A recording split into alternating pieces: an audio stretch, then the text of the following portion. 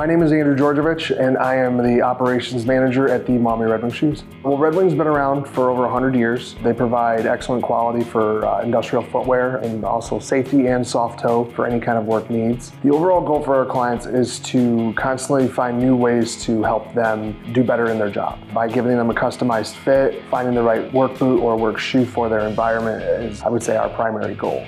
Here at Red Wing, we strive to make customers for life. We like to treat our customers more like a family. We like to give you the most amount of respect that we can give by offering free service agreement that we do for you. So in terms of any kind of maintenance that you need on your boots, we do uh, stitching, lacing, eyelets for any work boot or work shoe that you get in the store, and that's for life.